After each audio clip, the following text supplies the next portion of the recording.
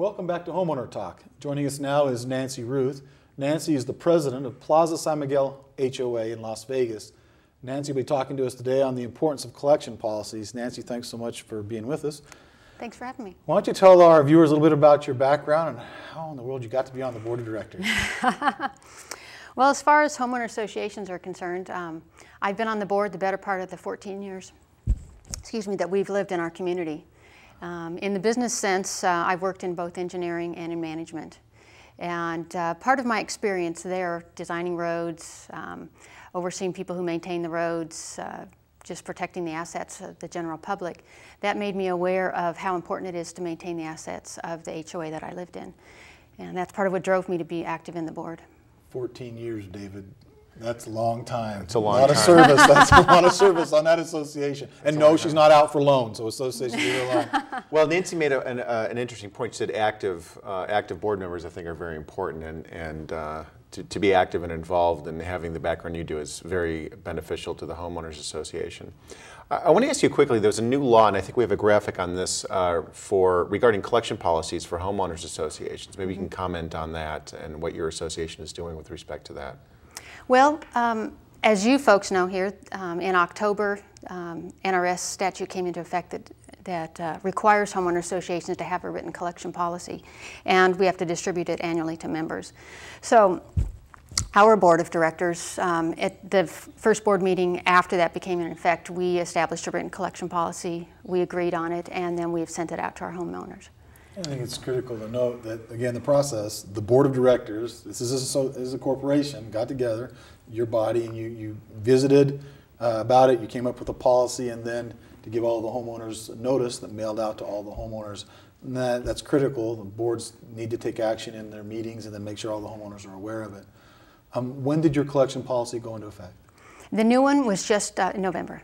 Okay. Because we meet quarterly, so it was the first um, time that we met. But I think it's important um, that all the viewers understand that collection policy is not anything new. That's been part of our CC&Rs.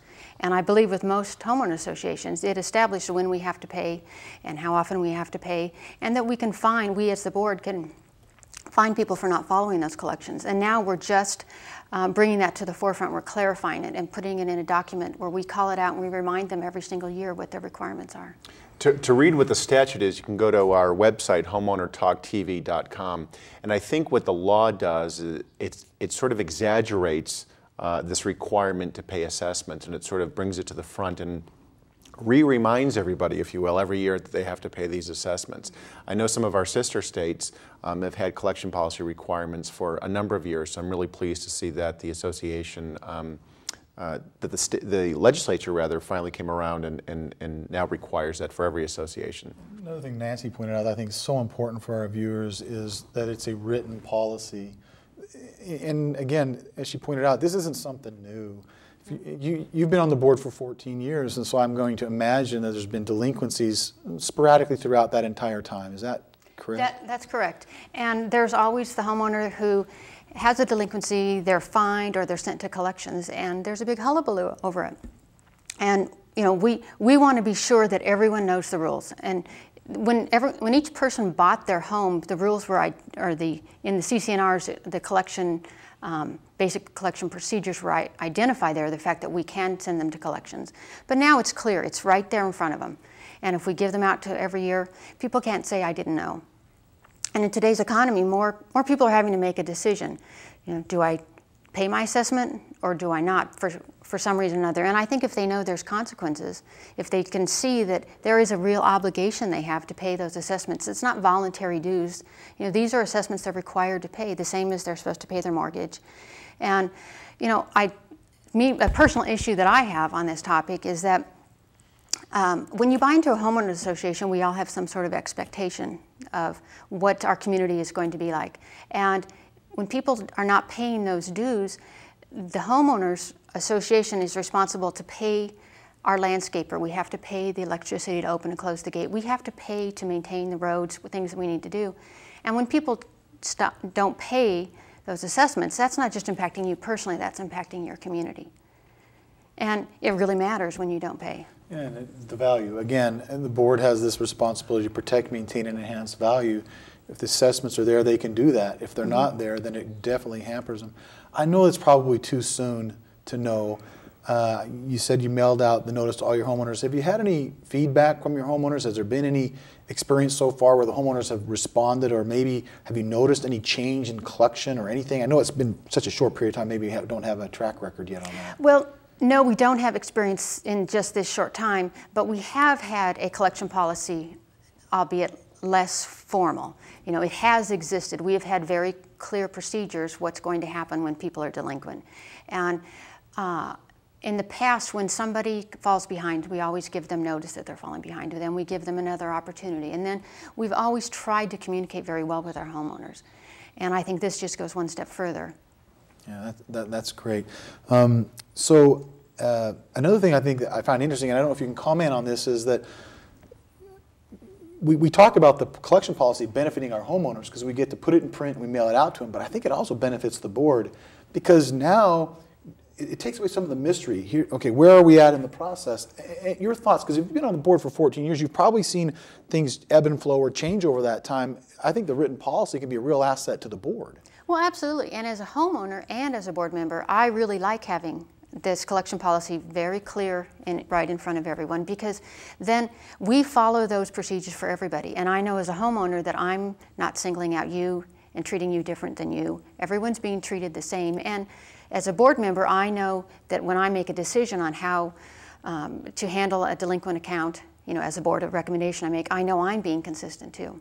And and that's important because the law says that, again, it's talking in the context of rules, and this might not exactly fit that, but it says uniform enforcement under the same or similar circumstances requires the board to be somewhat consistent, uniform Mm-hmm. in how it deals with people.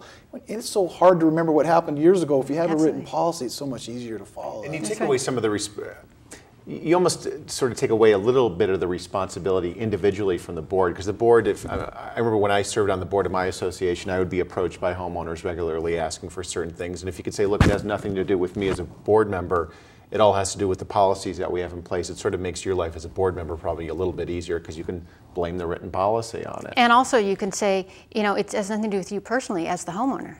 It's, it's the policy. It's the policy. I have no choice. Yeah. It does. It takes away some of the personal part of that. That, that, that that's very interesting how, how that would work. Um, so the policy's been in effect for a little while. Um, earlier, uh, we had Debbie Kluska from Nevada Association Services on our program, and Debbie talked a little bit about um, payment agreements. And, uh, and I'm just wondering if your association has any experience with uh, you know working with homeowners that are delinquent and how they might uh, what maybe some of the factors and things you take into consideration in trying to get payment agreements.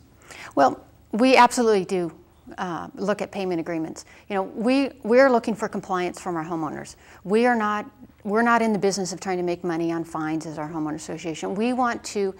We're a corporation. It, uh, we're, we're a nonprofit corporation as our homeowner association, and we want to be sure the money that comes in. Um, that we have enough funds to operate our corporation. As I said before, we can pay those bills and things. And so we're not trying to make a profit off of people that fall behind. We just want them to, to do their best to comply. So if, if they can catch up on their dues or they can, you know, um, remedy uh, the fact that they've fallen behind by making payments, that's wonderful. You know, we want to see an effort. We want to know that you're trying.